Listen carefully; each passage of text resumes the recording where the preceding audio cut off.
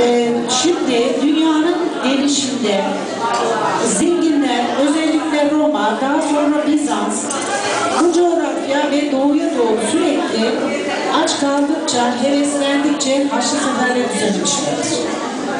Bu, e, ve bu savaşlarda eskiden insan gücü çok önemli.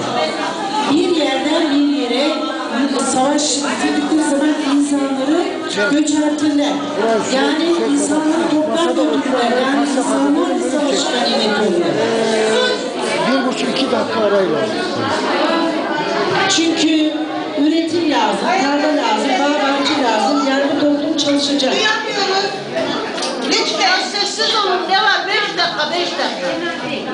Bu e, toplum erkek, zenginlere köle olarak tarlada, bağda, bahçede büyük çiftlikler olur. Yarı top.